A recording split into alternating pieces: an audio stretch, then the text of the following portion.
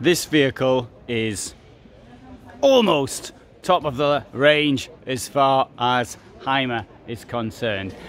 It's not quite top of the range, it's not quite the most expensive uh, vehicle, but it's almost the most expensive. This thing here will cost 217,000 euros. So this is the uh, MLI 880 and there you have some of the details about it. 9 meters long, 235 wide, 296 and with four or five uh, sleeping places. On a five and a half ton basis, this will give well over a ton of payload. Now, there is more information in the description. It's very possible that I could forget something. And in fact, not possible, it's highly probable. Uh, in fact, it's almost a certainty that something will have been forgotten by me.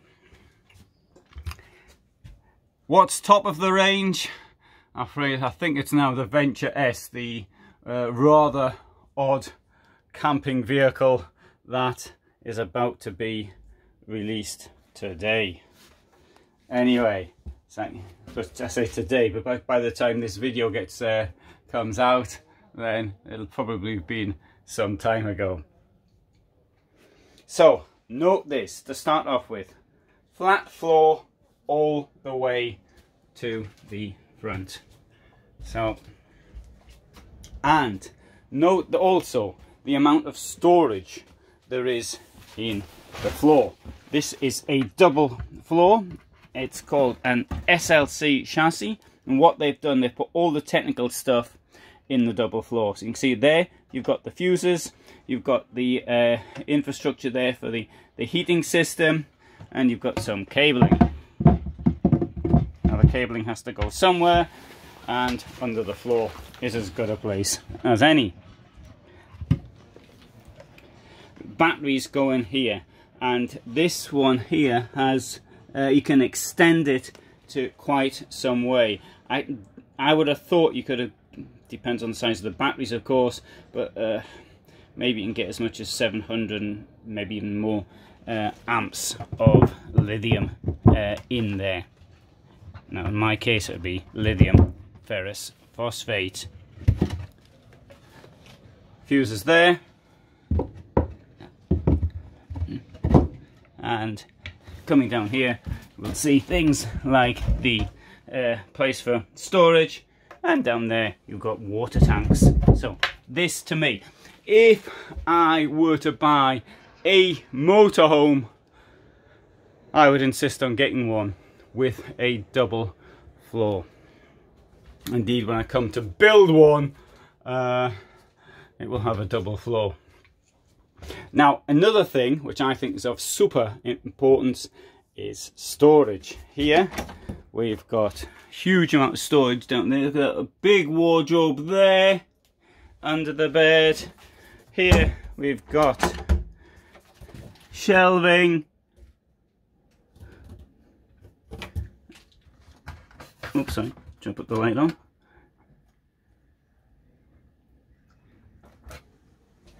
And the bed. Let's have a look how the bed works.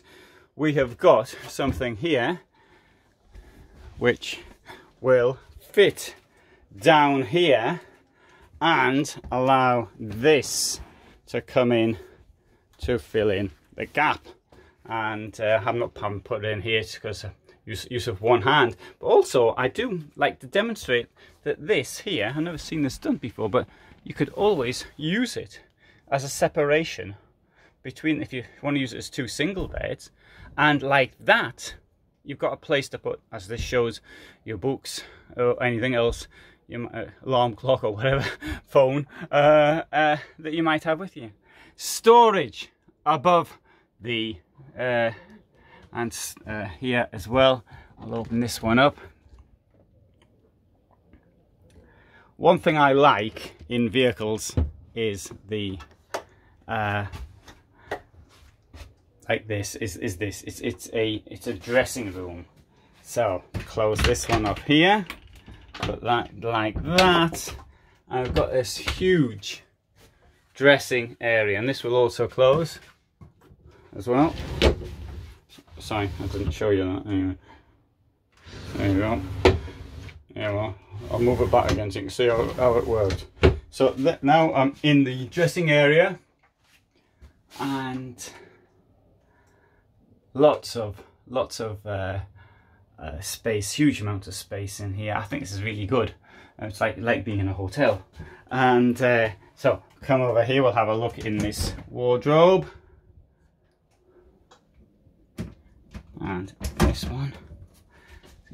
Stacks of clothing in there. Down here as well one thing I don't like though is that Hymer uses these what cheap drawers you know, in a van like this, I think they could have done better. I've got to find, got to find something negative to say, and that's uh, these drawers. Uh, oh, what's negative? Um, shower is enormous, as you can see. Right, so uh, uh, so there's me standing next to it, so it gives you an idea. I mean, a, a person here, you've got all this clear clearance up there. There we go. So that's what one. That's probably two meters high. I think it's about 198 in height, something something along those lines. Here we have the Truma Aventa uh, aircon uh, system, and uh, now I need to point out though, for that thing there to work, you've got to be on hookup. Um, now I saw some figures about how long to leave an aircon unit on using an inverter, and uh, even with you know you had 700 ampere hours of um, batteries. Well unless you were planning on uh, getting getting uh, on hook up the following day charge them up again that might that might uh, uh not last all that long. Um,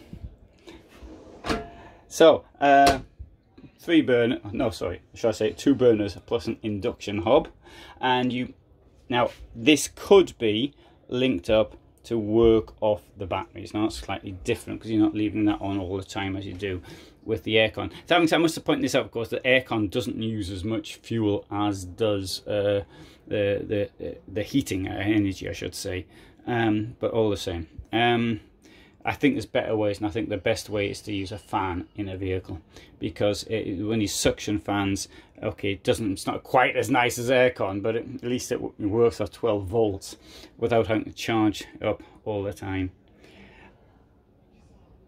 Outstanding kitchen, isn't it? I mean, it's really big, lots of uh, lots of workspace around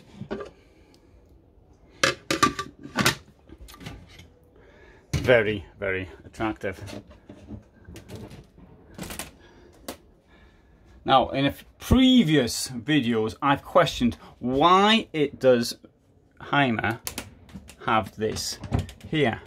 Well, I suppose if you get something like these uh, Fuchs's um, spicers, then then the, they, they sort of fit in there and that wouldn't fall out when you're driving. But as far as I'm concerned, that bit there should just be covered. Now I'm going to take the glasses down, put them down here, and open this up. Ooh. Look, I cut myself. Oof. Sorry, um, cut myself opening this. Don't know what. Oh, really, really hurt me. That did. Anyway, down there, got the television, and um, Good. uh, I see. Uh, in pain uh, from what what the uh, um, up there got the bed. The bed will drop down. Uh, to make the bed drop down, you've got to put, put bring the seats down as well, and uh, that. Uh I can't really demonstrate it just using one hand, but if I get the opportunity to do it, in a showroom, then I'll do it there. Um, now, we have something here which is now becoming unusual. That is to say, a door on the driver's side in an integrated vehicle. Now, there's two lot thoughts on this matter. If you've got a door, then you can get out and put some fuel in it with easily. On the other hand, this is the way I look at it. I'd rather just have one door, just one lot of security to worry about. So uh, anyway, let's see if I can bring the bed down a little bit. and I can't I just wanted to bring it down a little bit to show you but I can't show it anyway. So uh, it's also possible to make a bed here so you could actually get five people in here if you, if you wanted to.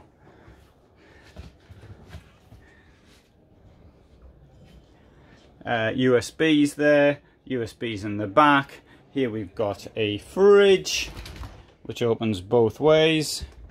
There's the freezer which also opens both ways and there is the oven which only opens one way and as you can see I mean you can't get a whole chicken in there but you can get a pizza in there. And next to that we've got this wardrobe. So there's a stack of storage. I mean for two people in retirement this would be this would be pretty good so I'll open this one here back up again.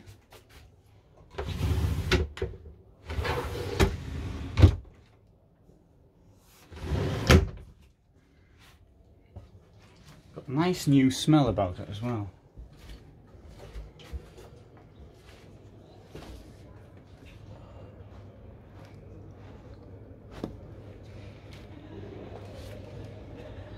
This here is for the suspension system.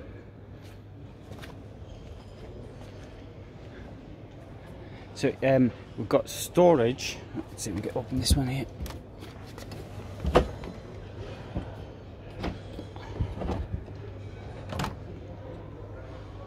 You got storage, out of storage, but not this, it goes all the way through to the side.